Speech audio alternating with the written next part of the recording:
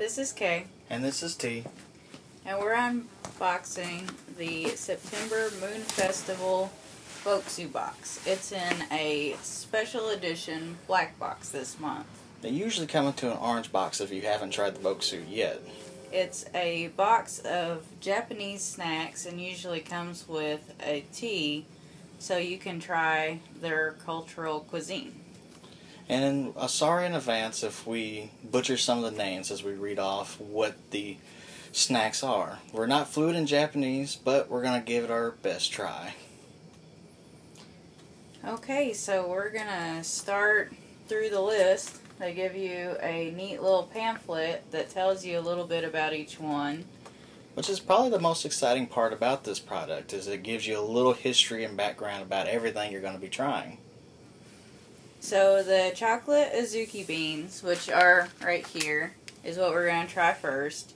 It is a sweet, and it's made using a which is a sugar syrup, and it has a modern twist by coating the beans with white chocolate and then finishing them with black sesame and roasted soybean powder. So it gives it a nutty, peanut buttery taste. So Yeah, pretty good. There you go. It has a really strong peanut butter taste at the end. That after flavor is really powerful. yes, Oh, really it, good. it's sweet and soft, and if you like peanut butter, you'll like this. So the next one is the mochi. It's a chewy mochi. What's it called? The Mitarash, Mitarashi, Mitarashi Mochi. And like I said, if I butcher the name, we're very sorry. So it's a mochi that is grilled on a skewer and has a sweet soy sauce glaze in the middle. And it's a popular street food throughout Japan, especially around the holidays.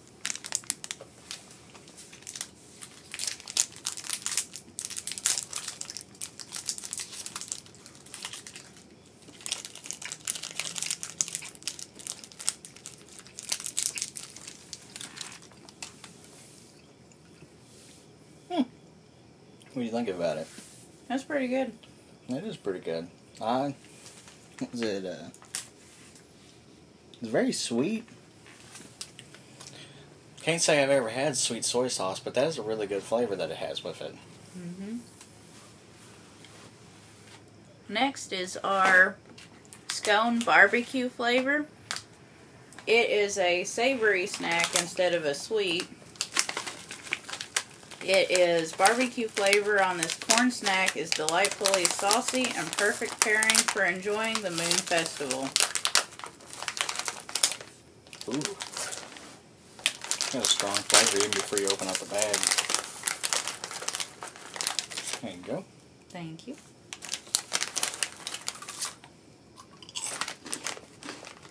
Mmm. I definitely get the barbecue. Yeah, that was really good. It kind of reminds me of a barbecue chip, Mm-hmm. but it's more airy. I like it. Was really good. That is definitely a keeper. We'll eat those later. Next is the Usagi chocolate ball. And I hope I'm not butchering that, but Usagi means rabbit. And in the Moon Festival, it centers around the rabbit. Hmm. So those are these little bitty tiny. cute rabbits here. They are really cute. Look at that. And there are many chocolates with a sugary outer shell and a rich cocoa center.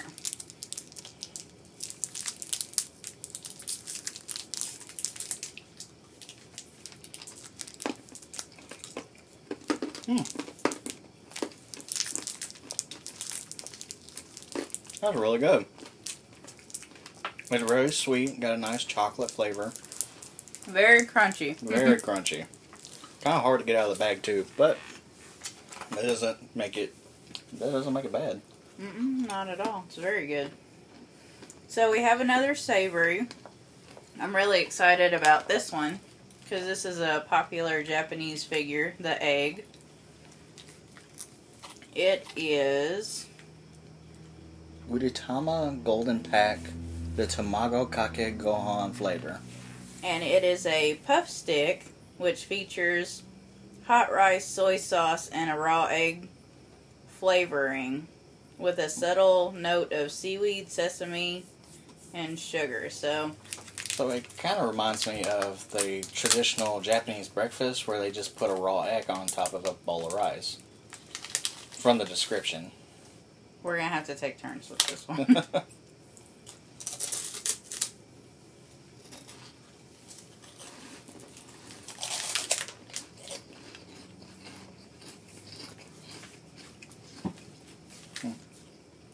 the texture is a lot like a corn Uh, puff. yeah, like a Cheeto puff, but it has much more flavor to it. Really good. Yeah, it has a lot of flavor to it. I'm going to go ahead and finish this.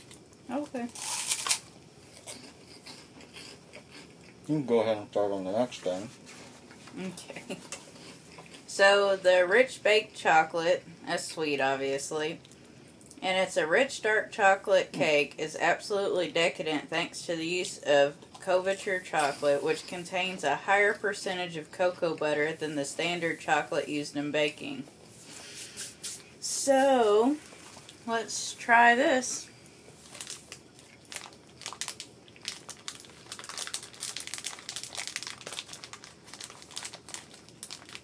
There we go. Packaging can be a little tough to get on out. Ooh, it didn't have a snap to it. It just it was a nice little, uh, nice fluffy. And that is a deep chocolate. Mmm. Very rich, very soft. It is a dark chocolate, but it is really good. Excuse me, that one I had to kind of wash down. So the next is the OFU. The Fukari uh, Shichimi. Shi shichimi. which is a baked assortment of smoked crackers and peanuts with a seven spice seasoning on it.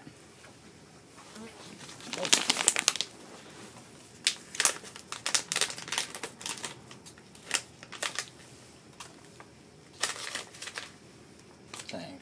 Well. Oh, nuts. Wow.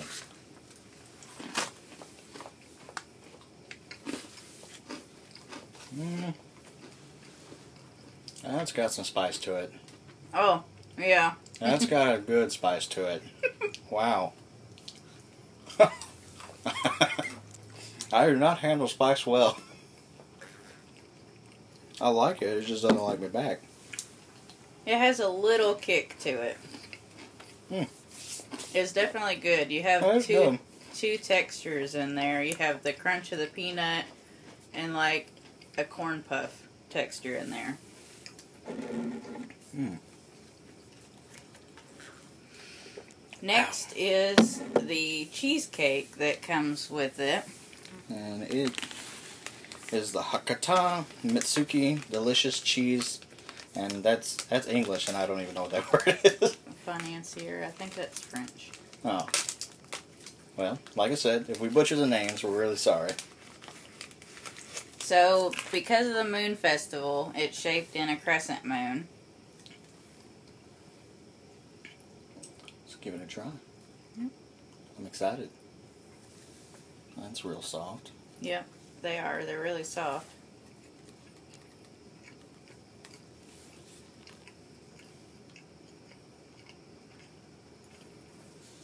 Now, this adorable crescent shaped cake is named for the beautiful moon over Hokka- Hokkaido, a neighbor, a neighborhood in whew, Fukuoka. It was a delicious texture with a golden buttery outside, and it is really, really, it's very buttery and very delicious.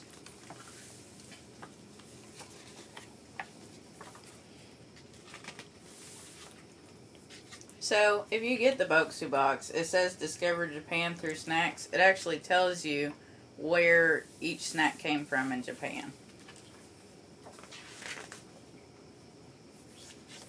So, the next thing I'm not usually a fan of, but I'm going to try, is the soybean tea.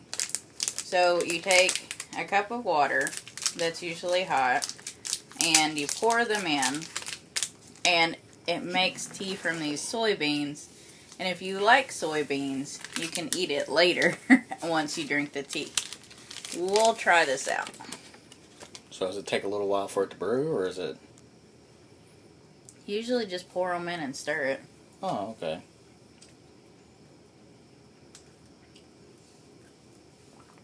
it has a slight nutty flavor to it it usually goes with the moon festival and it's um, soybean it's entirely soybean It's not bad. I'm not a big fan of soybean tea, anyways. but there's another tea that comes with it as well. The organic drip tea full moon tea which we have here i already set up because it has to set for a minute. It is fresh full green tea leaves clean and simple in flavor. And it is a green tea so we'll just shake that out it gives you um, directions on how to make this tea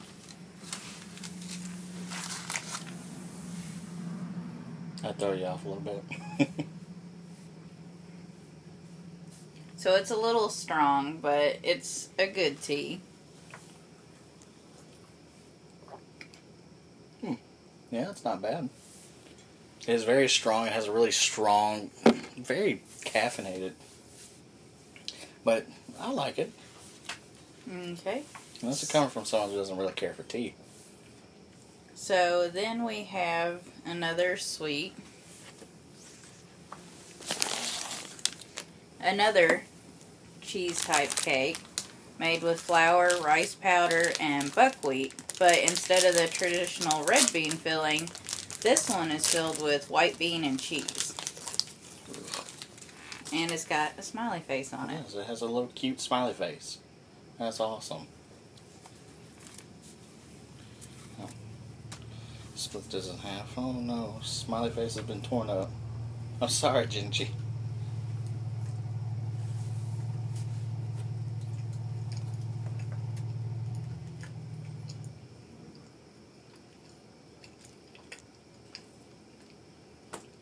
What do you think? I think it's pretty good. The cheese flavor is subtle. It's not very strong. No, and that's what I was afraid of as being a strong, heavy cheese flavor, but it's not bad. I prefer this over a bear claw any day. So the next thing is um, rice crackers are very popular, and they usually come in most of the boxes. And we usually love the rice crackers. These are a black pepper flavored one, and it's made. It's inspired by the flavorful clear soup consomme. It is made from bouillon. It has a powerful peppery taste. Hmm, exciting. Oh, um, it says we'll give your tongue just a little heat and maybe a kick in the pants. So maybe just try one if you can't do the spice. It's not that bad actually. Like, whoa, there it is. Yeah, it's it's got a little spice to it. Huh. It oh, it doesn't hit you till a little later after you're done chewing. I'm gonna try another one just to make sure I'm right. Yup. Has a real black peppery taste to it. It feels like you're just sprinkling a little black pepper on your tongue. Not necessarily a bad thing. It's very delicious. It's just got a nice little kick and aftertaste. Our next thing we're doing is the mochi puffs. So instead of the chewy mochi, these are air puffed ones. They're usually pretty good. They melt in the mouth. This one in particular is a Kanako flavored, which is brown sugar, a hint of chocolate, and roasted soybean. And it is usually a pretty nice sweet flavor.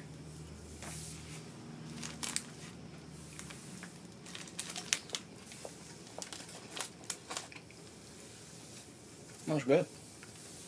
Yeah, it's definitely good. You can definitely taste the uh, brown sugar in it. Down to the last three things. Yep. So the black sesame taiko with the little bear on it. Cute, cute little bear. It is made with fragrant roasted almonds, black sesame, and mizuami. It has a crunchy texture and sweet.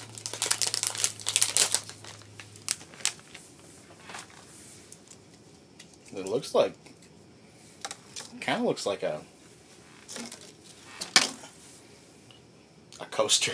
to me, it looks a little like oh, it's got a nice little, Nice little crunch to it. nice little snap.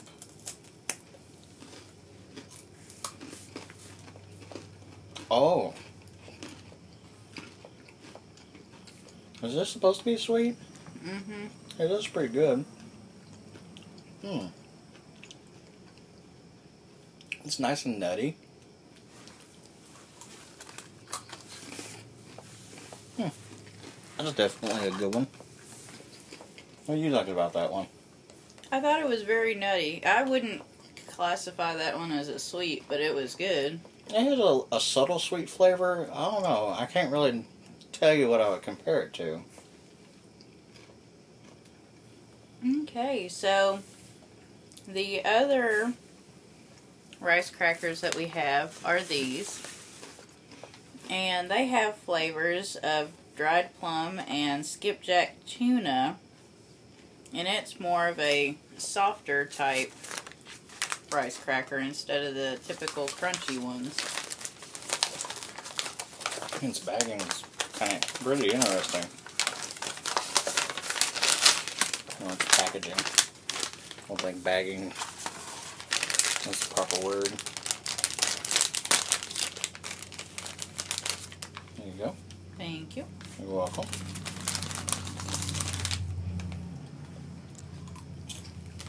That is an interesting texture. It kind of reminds me of bonito flakes. It is a blast of flavor and it is really good. Umami. Yeah, that's definitely a keeper right there too. Mhm. It does have a softer, not crisp texture. It is really good. Okay.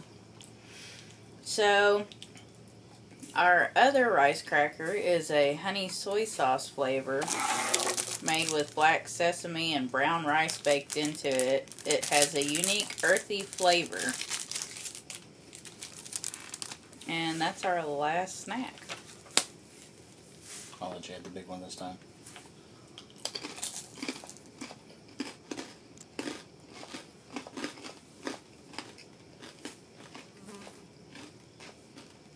Hmm.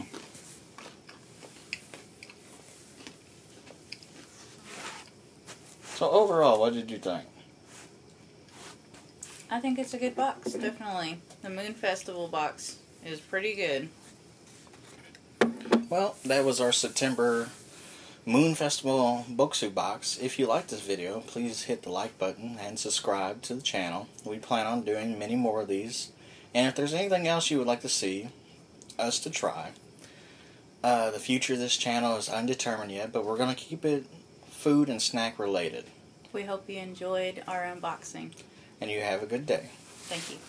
I have to get up and turn it off though.